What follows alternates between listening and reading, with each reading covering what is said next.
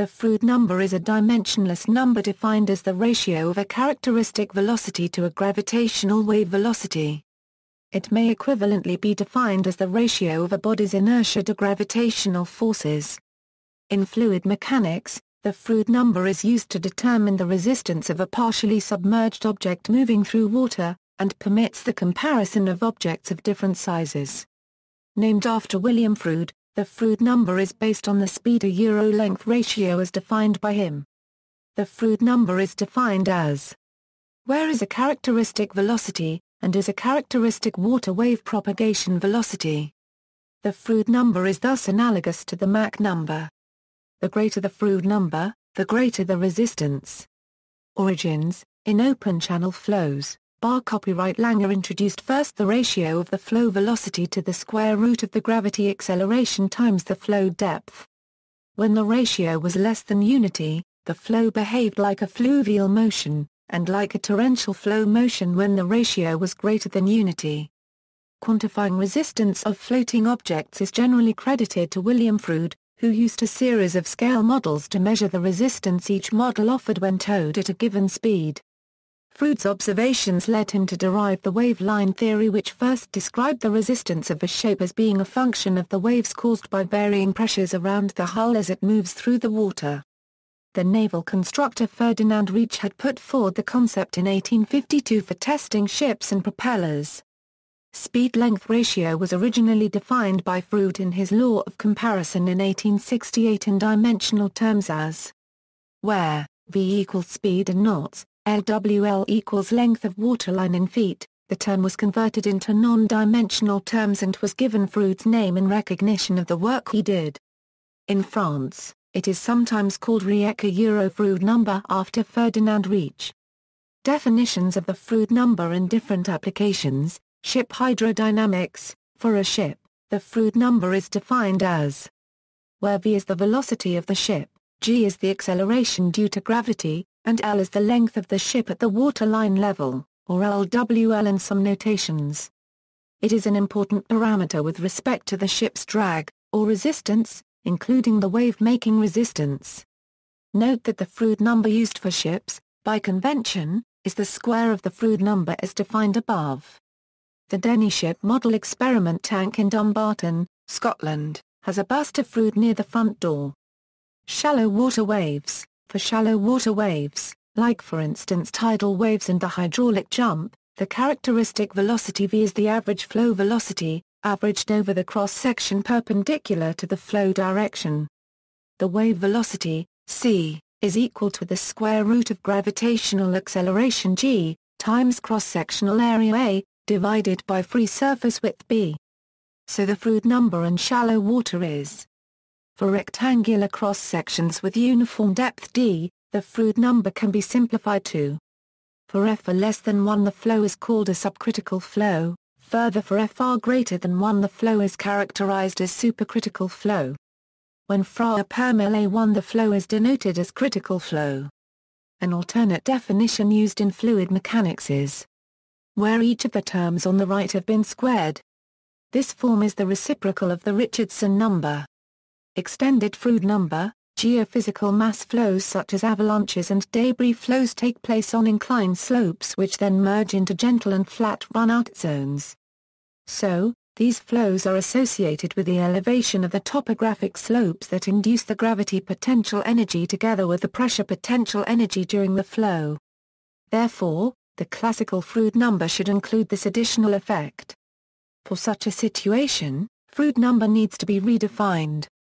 The extended Froude number is defined as the ratio between the kinetic and the potential energy. Where is the mean flow velocity, is the channel downslope position and is the distance from the point of the mass release along the channel to the point where the flow hits the horizontal reference datum. And are the pressure potential and gravity potential energies, respectively.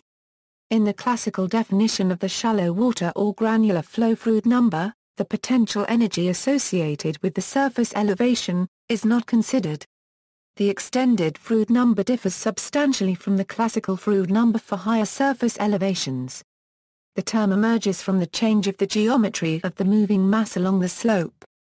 dimensional analysis suggests that for shallow flows is of order, while and are both of order unity.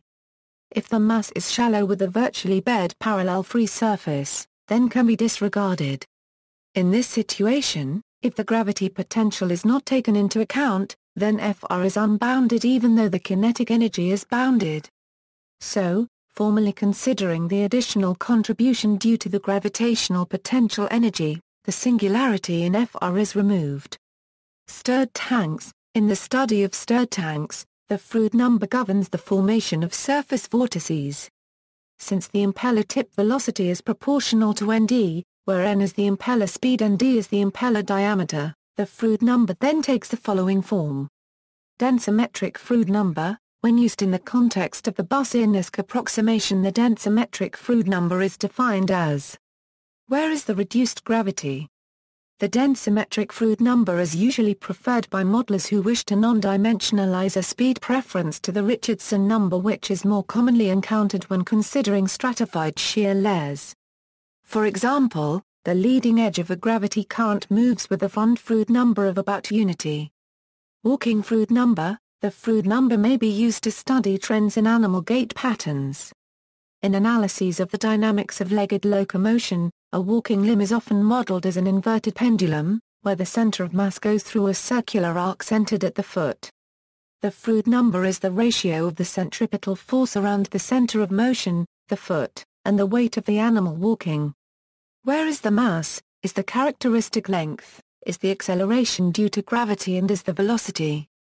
The characteristic length, may be chosen to suit the study at hand. For instance, some studies have used the vertical distance of the hip joint from the ground, while others have used total leg length. The Froude number may also be calculated from the stride frequency f as follows. If total leg length is used as the characteristic length, then the theoretical maximum speed of walking has a Froude number of 1.0 since any higher value would result in takeoff and the foot missing the ground. The typical transition speed from bipedal running to walking occurs with RMCN. Alexander found that animals of different sizes and masses traveling at different speeds, but with the same Froude number, consistently exhibit similar gaits. This study found that animals typically switch from an amble to a symmetric running gait around a Froude number of 1.0. A preference for asymmetric gaits was observed at Froude numbers between 2.0 and 3.0. Uses the Froude number is used to compare the wave-making resistance between bodies of various sizes and shapes. In free surface flow, the nature of the flow depends upon whether the Froude number is greater than or less than unity. You can easily see the line of critical flow in your kitchen or bathroom sink. Leave it unplugged and let the faucet run. Near the place where the stream of water hits the sink, the flow is supercritical. It hugs the surface and moves fast. On the outer edge of the flow pattern the flow is subcritical. This flow is thicker and moves more slowly. The boundary between the two areas is called a hydraulic jump. That's where the flow is just critical and Froude number is equal to 1.0.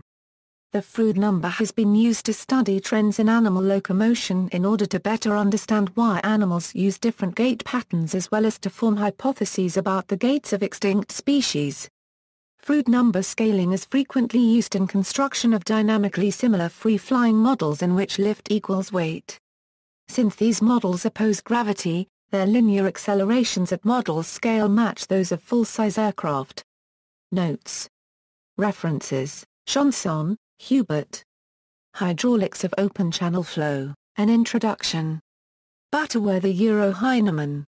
ISBN A0, 7506, 5978-5 650 pp. External links, http www.coop.ac ERC Fast Furry MCA 457 PDF